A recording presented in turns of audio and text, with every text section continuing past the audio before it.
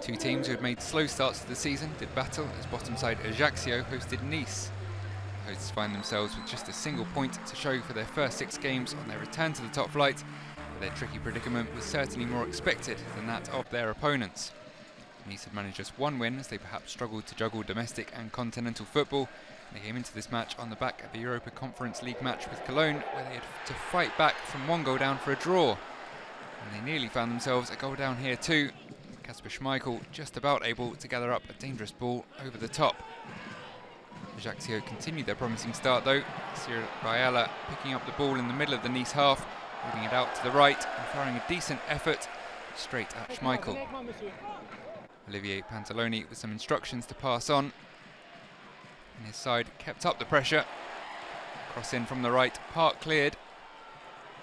Some fancy flicks, not enough clear it for the Nice defence. Ball then coming back into the danger area, but flicked over by the head of Bayala.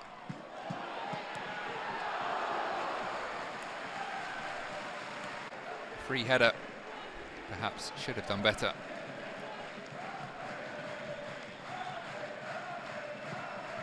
Nice did then finally conjure up an attack of their own. Chance of a shot from the edge of the area turned down. Instead laid up for Gaetan Laborde on the volley.